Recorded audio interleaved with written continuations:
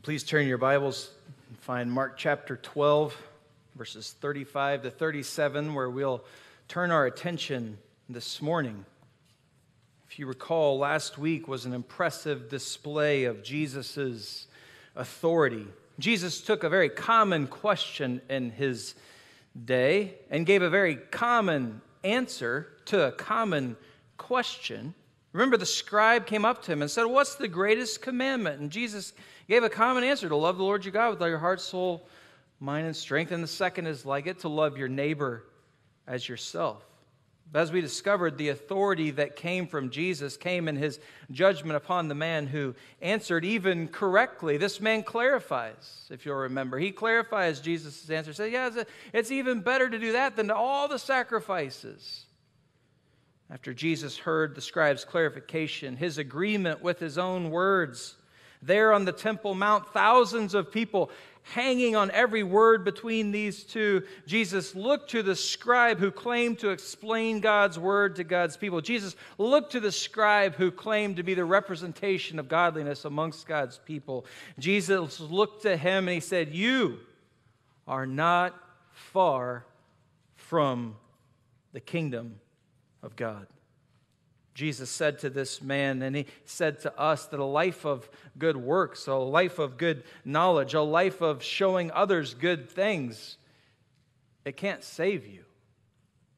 Why? Because you're a sinner in need of God's grace and mercy, not in need of a better plan or a better strategy. And so Jesus judged this man as inadequate for the kingdom. Jesus judged this man as outside of the kingdom. Was he close?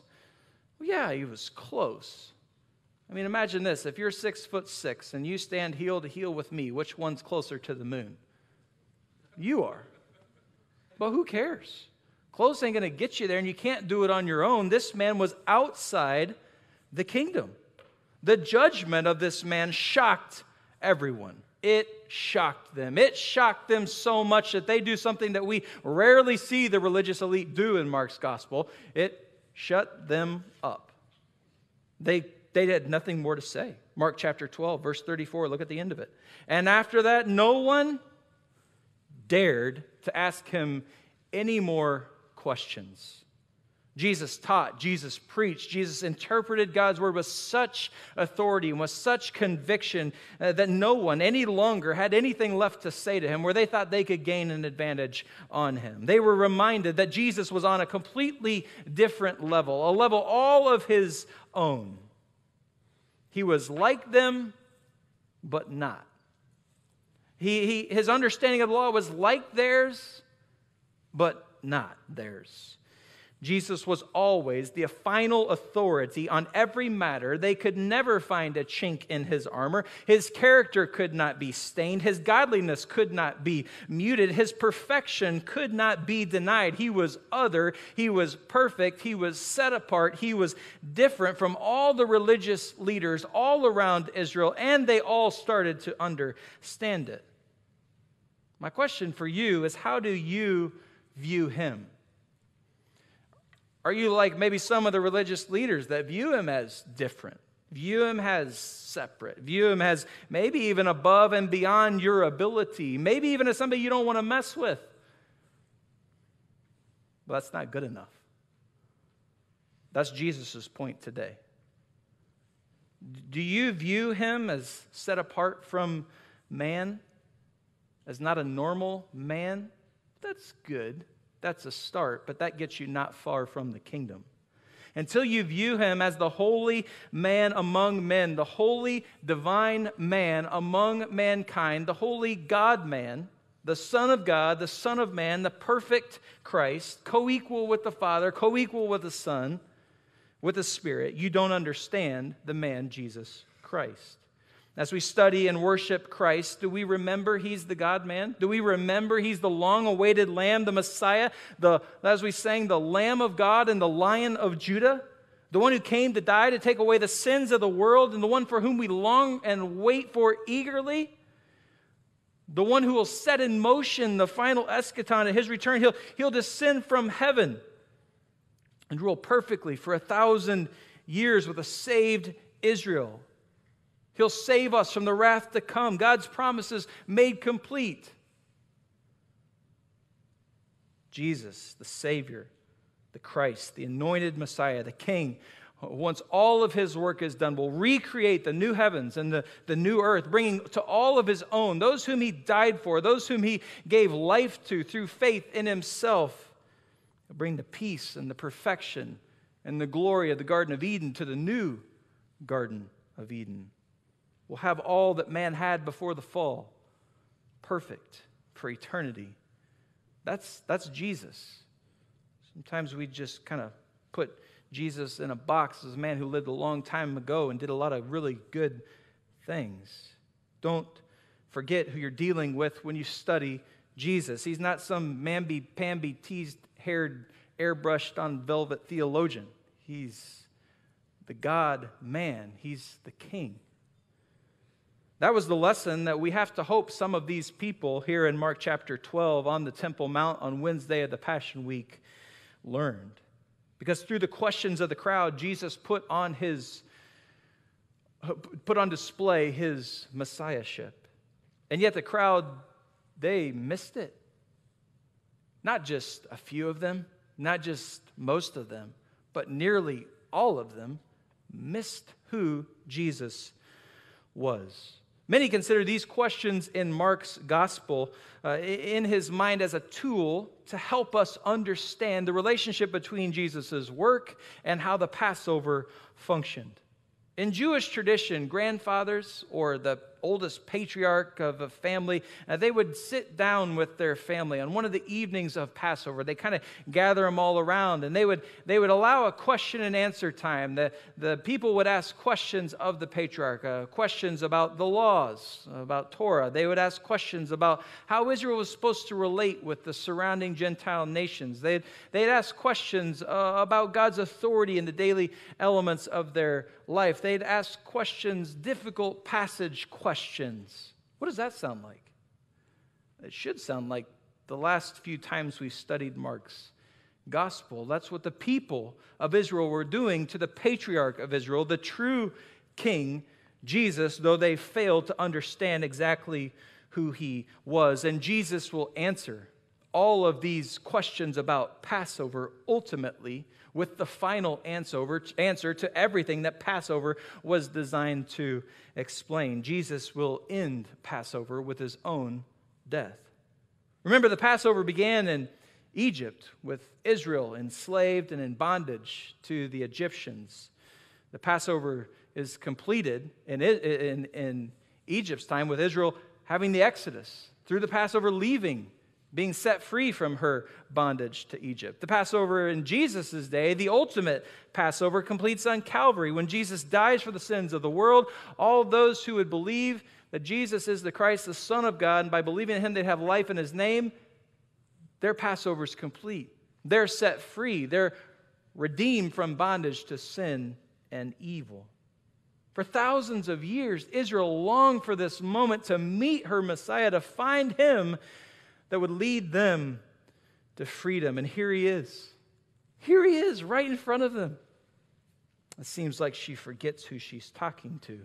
Four questions she asks him on the Temple Mount on this talkative Wednesday of Passion Week, and they all prove the inadequate, man centered view of religious people, really the damning consequences of those man centered views. All the religious leaders accomplish in their questions and their attacks on Jesus is to make themselves look like fools and make Jesus look like the true king that he was. And up to this point, they just asked Jesus questions and Jesus answered. But now Jesus has had enough.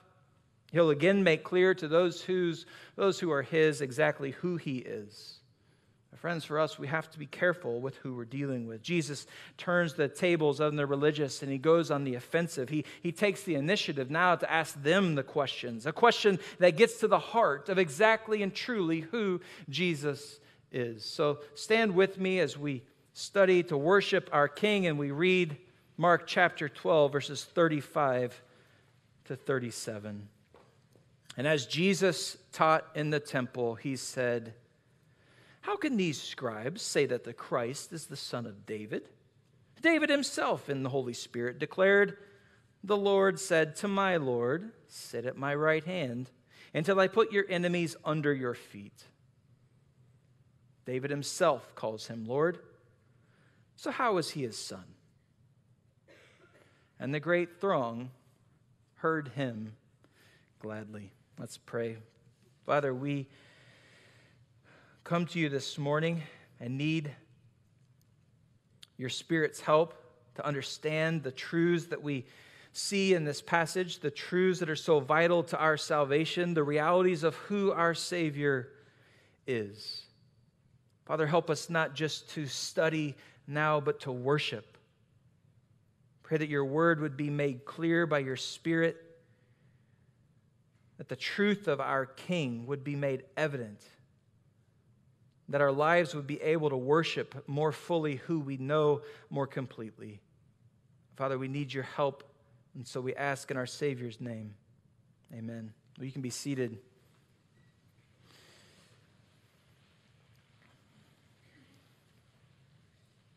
Today we learn from Jesus in the silence of the crowd three grounds for worshiping Christ as our worthy King.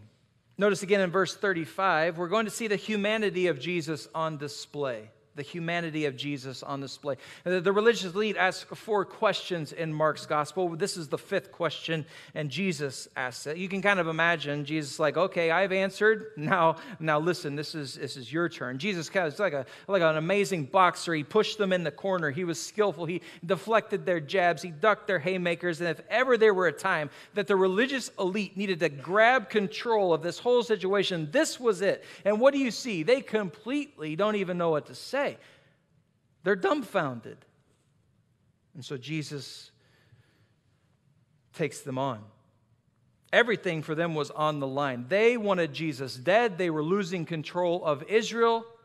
They were going to lose control uh, to the degree that the Roman occupation would say, hey, you're done. We're now in control. You've got nothing. Just back off, Sanhedrin. We'll take care of this. Jesus was putting their livelihoods in peril. Everything was on the line, but Jesus was in control of the fight. He had shut their mouths, he had exhausted their mental abilities, and he wasn't even winded. It's like one of those joggers that just keeps jogging with a smile on their face. I don't understand those people. They just keep going. Jesus, he never even slowed down. He didn't, he didn't need a break from this. He, he could do this all day, and these, these religious elite were done. He was exercising his authority over them in a way that they couldn't combat. There they were in front of this vast crowd of people. I mean, it would have been wall to wall in the Temple Mount, heel to toe. People would have been stuffed together, trying to get a glimpse of Jesus, to hear what Jesus was going to say, uh, to see the reaction of the Pharisees. This was the best show in town. People were excited, people were angry. Some people wanted him dead, other maybe a few wanted to worship him. You've probably never seen anything like this. It would have just made the hair on the back of your neck stand on end. It would have made your tongue bitter as all that adrenaline was coursing through your veins as you watched this life or death scene unfold in front of your eyes. You knew these most powerful men wanted Jesus dead. And here he was on their home court, shellacking them. He dismantled, nearly dismembered their theological arguments. They were done, and Jesus has just begun. Jesus is about to turn them inside out. And he begins with a question that's kind of strange because they both agreed on the same answer. Verse 35 How can the scribes say that the Christ is the son of David? My guess, if you just put a little theological imagination into it, Jesus like, How can the scribes, them over there in their Dolce and Gabbana robes, how can they say that the Christ is the son of David. How can they say these things? Remember the grammar guys, the grammateus, that was their name. They, were the, they had the keys of the kingdom. They were the high and mighty, the big guys, the fat camels of Israel. How can they say that Christ is the son of David? And you can imagine the people thinking, well, wait a minute, I thought you said that Christ was the son of David. Jesus being just a touch cagey here, as he often is. Because everybody who was anybody in Jesus' day believed that the Christ was the son of David. They would have agreed on this. And notice carefully, Jesus is not disagreeing with verse 35. He's just introducing his topic. He's saying, look, the Christ, the Messiah, the one who's going to come, the promised king of the Old Testament, he will be the son of David. He will be in the lineage of David. These two people are not two people, they're one. They're the same person. The promised anointed one will be the Messiah who delivers his people. He'll be on the throne of David. He'll be from the line, same person. Isaiah chapter 9, it told him this very clearly. Speaking of the Messiah, said, He will reign on David's throne. Also, Jeremiah 23 tells us David's offspring will reign as the ultimate king. 2 Samuel chapter 7, what we'll read next week in our scripture reading, God will make David's throne uh, and God will raise up kings on David's throne. This, this is the key. Listen to this 2 Samuel chapter 7, verse 13. God will establish his throne of his kingdom forever. That's the promise that God gives David. The Davidic throne has God's eternal stamp of approval and seal on it. This, this is incredible. I, uh, Psalm chapter 89, verse 3 and 4 I have made a covenant with my chosen one. I have sworn to David, my servant. I will establish your offspring and build your throne for all generations. I mean, you talk about the hope of Israel as a nation, this is it the Davidic throne. When uh, the king sits on the throne and he's, a, he's in the line of David, then all things in Israel are going to be good. That's their mindset, and that's exactly what Jesus is playing on. God, by grace, made David's throne eternal. You can look at that in Micah chapter 5, it's all about that. Amos chapter 9, it's all about that. Much of Israel's hope for the future was set on the eternal Davidic throne. They point to this as being their hope. And Jesus says, Yeah, good. We're on the same page with that. But what does this teach us about the Messiah? Well, if he's from the throne or the line of David, what must he be? Don't think too hard. He must be human. He must be man. This wasn't a debate in Jesus' day, but it's been a debate throughout church history. Was the Messiah really human? Or was it just God acting upon or animating uh, a man to do his bidding, like a divine robot of sorts? Surely, God didn't take on actual humanity. Like many heresies, it probably began with a, a, a good motivation, uh, the elevation of God and his divinity. Surely God didn't really take on human flesh. Surely something else must have been the case. Friend, let me assure you that if God, if the Messiah was not human, then you don't have salvation if the Messiah was not truly man, you don't truly have salvation. The humanity of Jesus is absolutely necessary to the salvation of his people. For many people, Jesus is like a, a, theological superman. He gets put into a capsule and he gets launched to earth and he shows up in a backwater town, not Hutchinson, but Bethlehem. You know, just here he comes. There's Jesus. That's, that's not it. Jesus was human. Jesus was truly human. Turn to Hebrews chapter 2. In Hebrews chapter 2, we get some help to understand this. The context of Hebrews chapter 2 reminds us that Jesus suffered and Jesus died so that by the grace of God he may taste death for everyone. So there's the context. We're talking about salvation, Jesus' role in salvation on our behalf. How does that work? What does that look like? We'll look at chapter 2, verse 14. Begin there. Since therefore the children, that would be us, share in flesh and blood, he, that would be Jesus, like himself likewise, partook of the same things. Same what? Same things. What's in reference? Flesh and blood. He partook of the same flesh and blood, not similar, definitely not different. He took of the same flesh and blood, that through death he might destroy the one who has the power of death, that is the devil and deliver all those through who through fear of death were subject to lifelong slavery.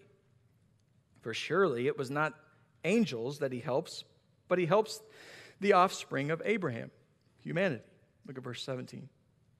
Therefore, he had to be made like his brothers in every respect so that, for the purpose of, so that he might become a merciful and faithful high priest in the service of God to make propitiation for the sins of the people.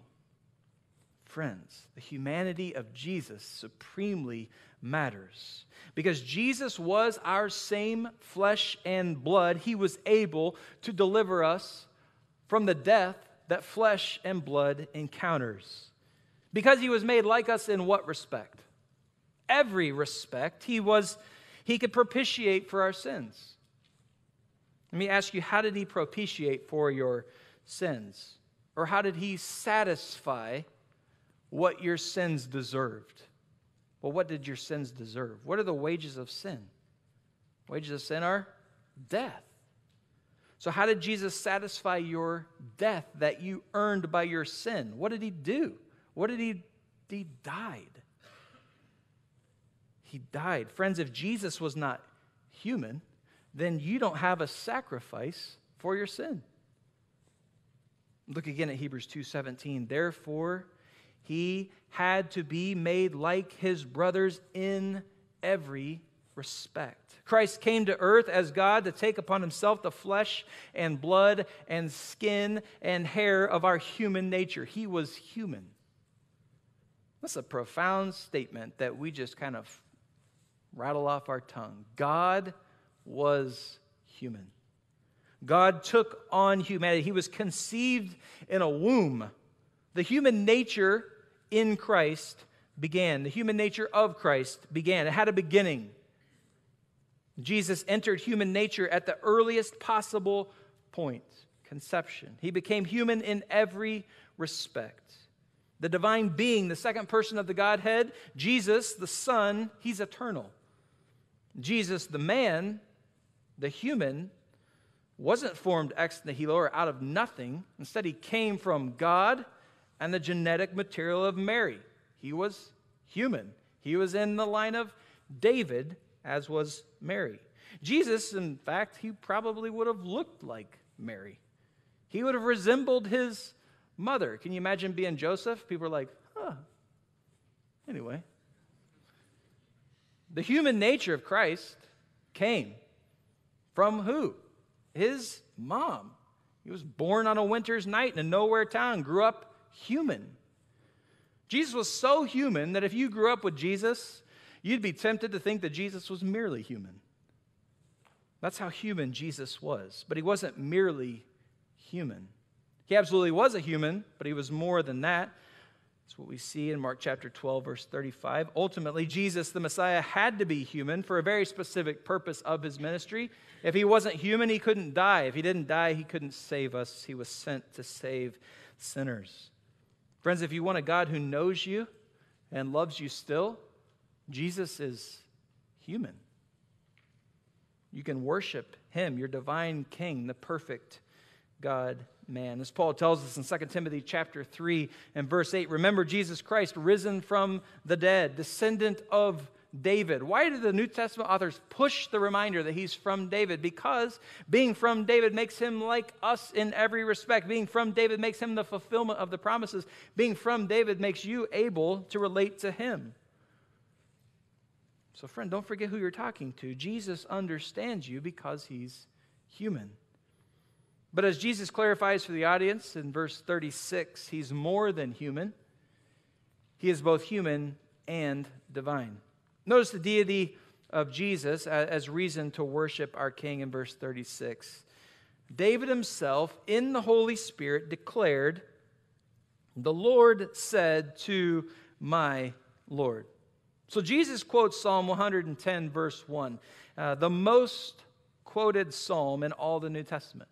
This was not like Jesus mining through the Old Testament trying to find a hidden verse that nobody understood. This was like the most, this was on the bumper sticker of camels, okay? This was, everyone knew this verse.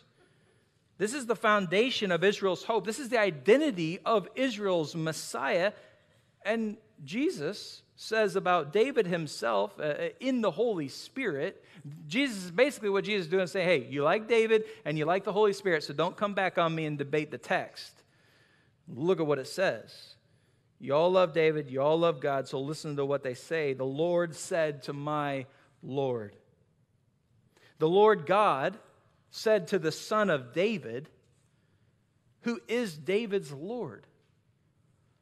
So the Messiah is David's son, comes from the lineage of David, but David calls his son essentially God. In what sense is the descendant of David his son and his Lord? It has to be that he's God. It has to be that he's man. It has to be that he's both God and man. Surely, if the most exalted, most revered man in, in Israel's history outside of Abraham would be David, and, and David is saying that his descendant is, is worth to be calling Lord, this is putting a massive uh, glory on, on his descendant, on the Messiah, because his descendant, because the Messiah is God. This has been out of step with the dignity afforded to someone, a patriarch like David. Why would Davis, why would David do this? It's only because he's, he's pulling back, Jesus is pulling back just to touch, the curtain, to understand exactly who the Messiah is. The descendant of David who would rule in perfection is not only a man from David, but divine. It's God. Jesus is proving to the listening crowd, even to the hateful scribes, even to the murder hungry religious elite, that he is God incarnate. He's Lord.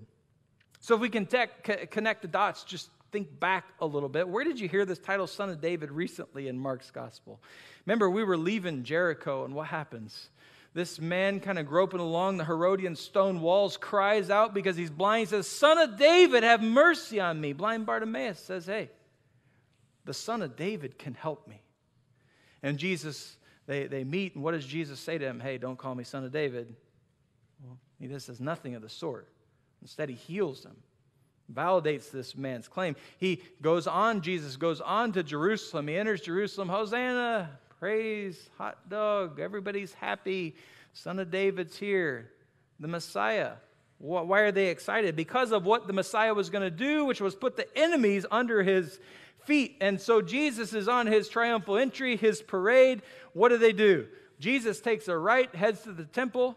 The crowd wanted him to take a left and go to the governor's house and kick Rome out of Jerusalem. Jesus didn't do what they wanted. Instead, he wanted to go worship. So, what did they all do?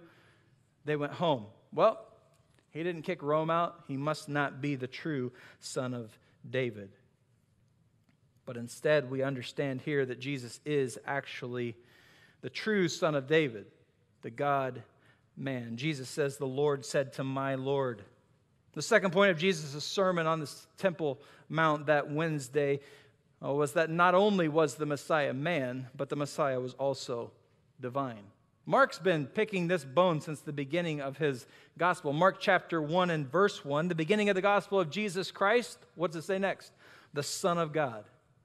Mark wants to make sure we understand Jesus, while fully human, is fully God. Mark 1.11, uh, the, the fully human Jesus in the baptismal waters, the heavens are ripped open, the dove descends down, saying, This is the, the suffering servant, this is the Son. And God says, This is my beloved Son. Listen to him. Just like what happened to the ultimate Boy Scout Peter on the Mount of Transfiguration when Elijah and Moses shows up and, and Peter says, Hey, we're going to build tents. We're going to tabernacle here for all three of them. Well, the problem with that was Moses and Elijah are nothing like Jesus. Jesus is divine. So God rips open the heaven and says, Peter, this is my beloved son. Listen to him. There's something just a little bit different about Jesus. In fact, a lot different. Jesus isn't a man, Jesus is the God man.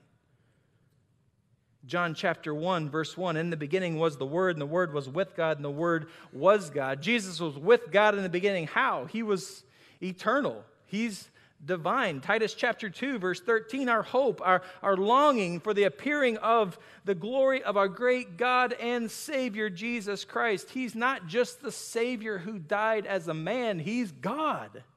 He's the God man. Jesus is not simply our Savior. Jesus is not simply God, Jesus is God and Savior. Jesus is human and divine. Remember Mark chapter 5, the Gerasene demoniac?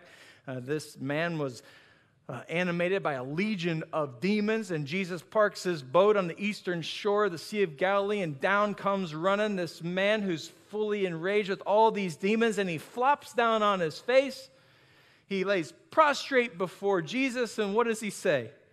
What have you to do with me, Son of the Most High God? How come the demons can understand exactly who Jesus is as the God man, but the people cannot? Jesus was human and divine. The Gospels in the New Testament present us with a fascinatingly robust and unapologetically unique, but a positively dogmatic view of the humanity and deity of Christ. You can't have one without the other and have life. You just can't. In theological terms, we call this the hypostatic union.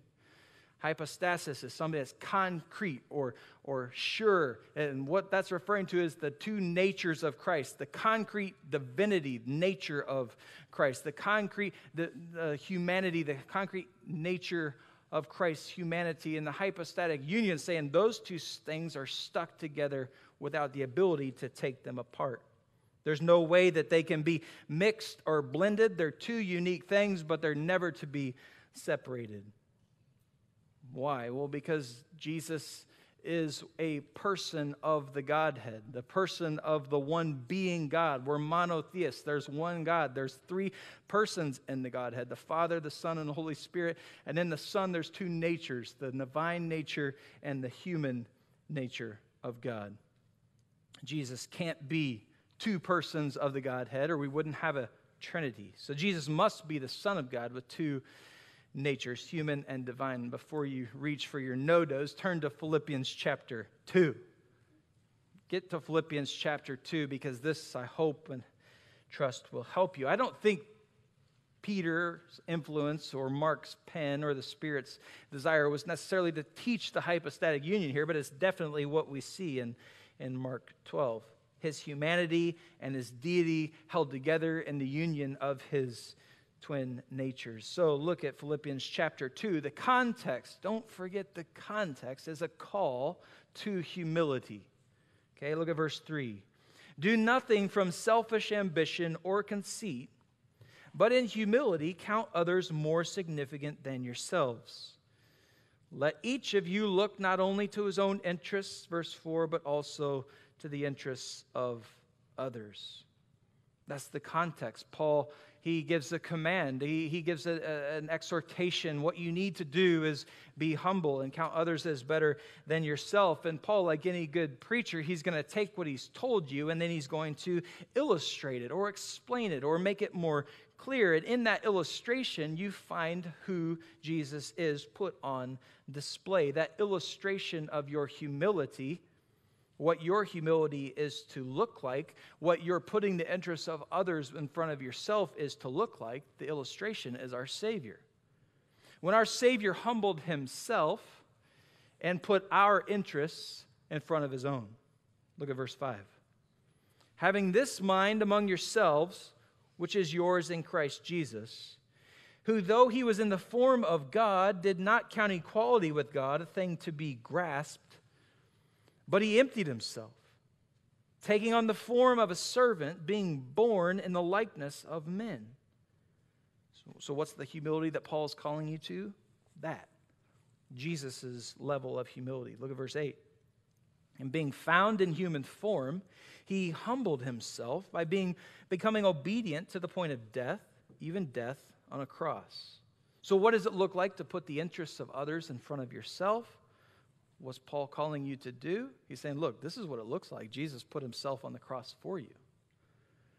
So, these great applications of this passage often get hijacked as we look at theology, and that's what we're going to do. But look at what we learn from our Savior. Verse 5 Though he was in the form of God, shorthand for though he was divine, though he was divine, he did not count equality with God a thing to be grasped. And Paul uses a fascinating word. He says he's not just hanging on to it uh, and not letting go. He uses a, word that's almost a little bit nefarious. It, it's kind of like uh, he, he doesn't seize it to rob it. He, he's not going to allow it to, uh, to be robbed from him or stolen from him. He, it's, it's that kind of a word. Even in some contexts, it's a form of violation, it's an aggressive word. Paul says, Look, Jesus was divine, but he didn't hang on to it like that. What did he do? Instead, he just let it go through his hands like water through your open fingers he let it be emptied. That's why this passage is called the kenosis passage. He, he let it empty out of himself. He emptied himself. And many people struggle with this in part because they forget this is an illustration of Paul's form of humility that he's calling us to. There is a bit of theological murk in this water, but what is the emptying of himself? It's not just it's not like emptying yourself when you go to yoga and you yum yum yum or whatever you do and you empty yourself. He, he didn't empty himself like that. He emptied himself uh, of his divinity in the way that he put on humanity. Look at verse 7. How did he empty himself? By taking the form of a servant. The word's doulos, a bargain brand house slave.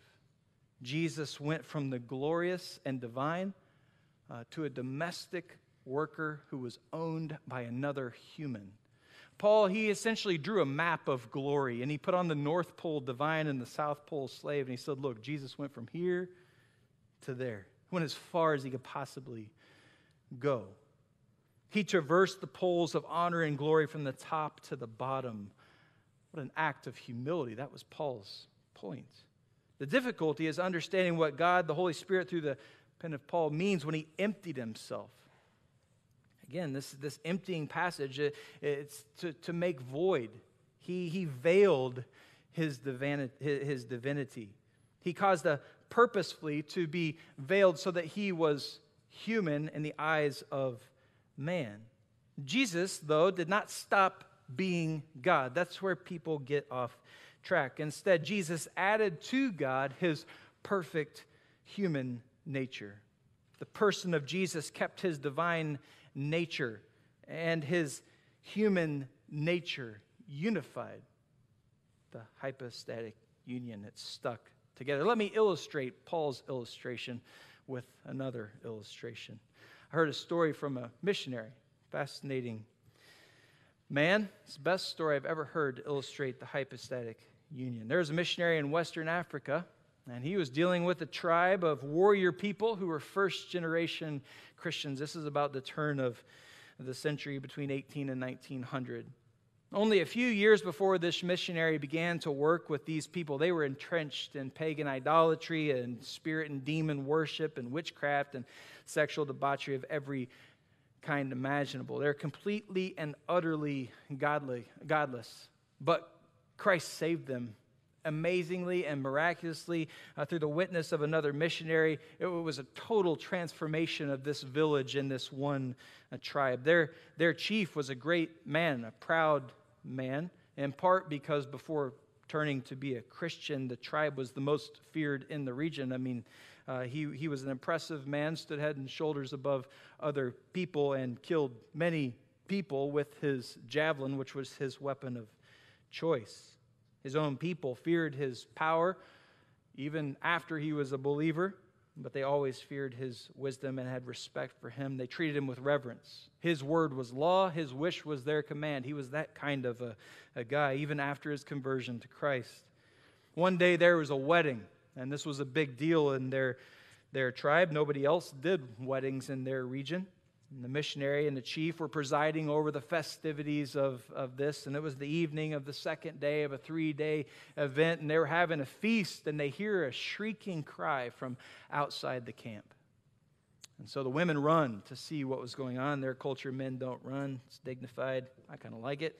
But they sauntered out to where the shrieking was coming from, and they're all wearing their traditional headdresses, their war attire. They're carrying their shields and their javelins or their spears, depending on their weapon of choice. And they get to where these cries and the shriek is coming from. They knew something was amiss. They, they arrived and they found that someone had fallen into the well. This young person they found to be a girl. Her torso was uh, crushed under the weight of the well. Just her head and shoulders were sticking out. And the way the well was, they couldn't get in to help her. And they recognized who she was. She was uh, from a neighboring tribe. You don't steal water in Africa. She was stealing their water from their well. And several men tried to get her out. They couldn't get a good hold of her.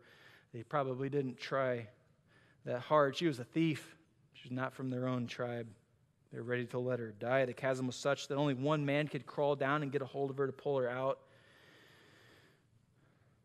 The missionary then described the scene as hopeless, helpless, heavy.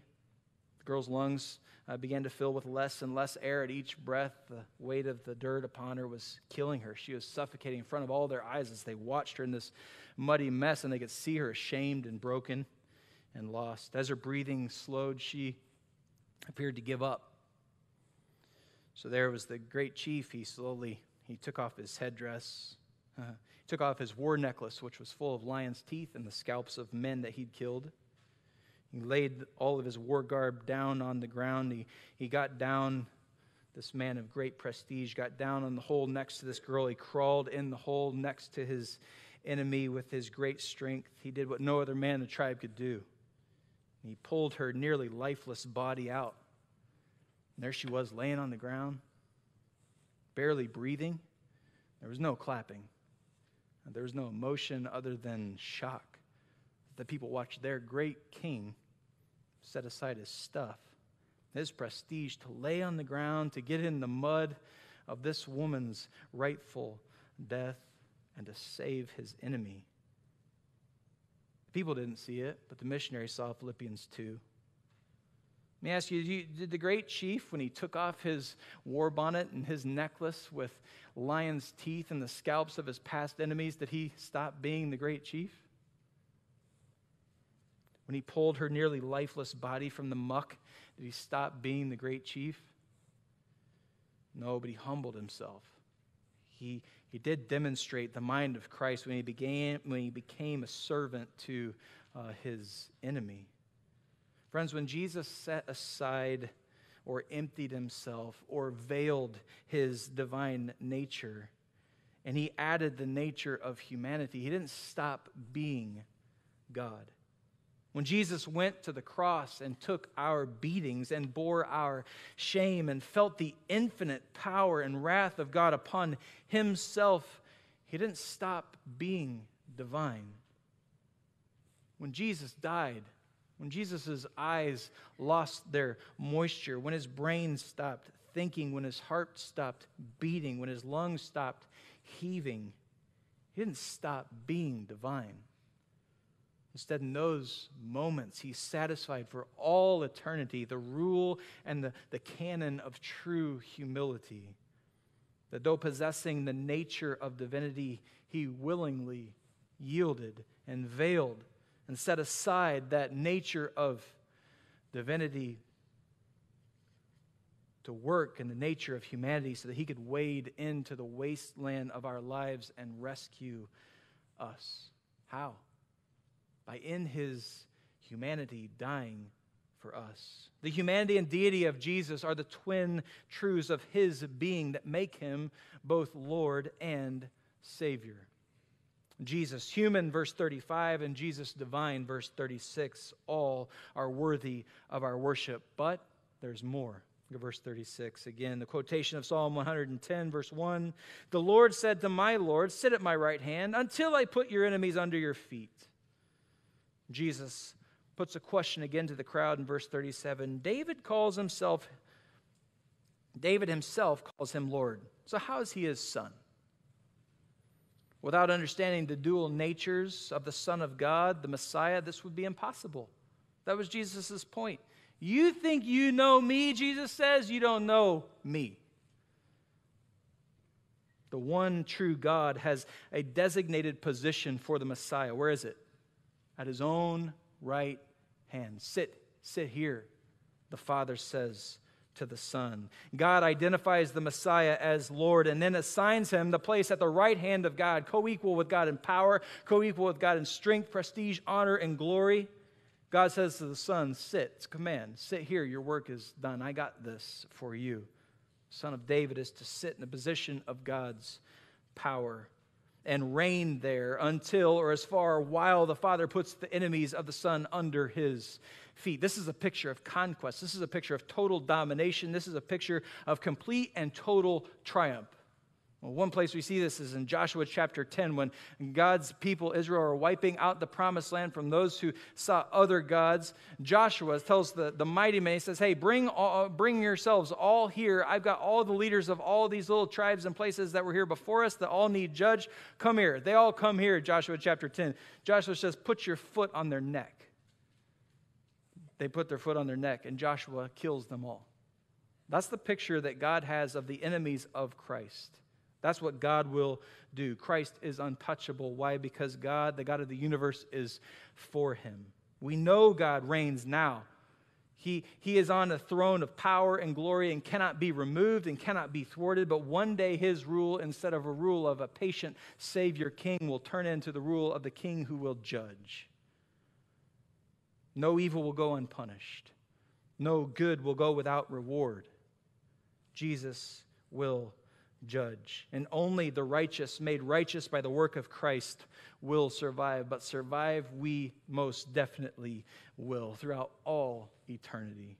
Do you know this Jesus? Do you know this God man? Does learning about him give you joy? Oh, Christian, be careful. Look at what's next. Notice the reaction of the crowd. Mark chapter 12, verse 37.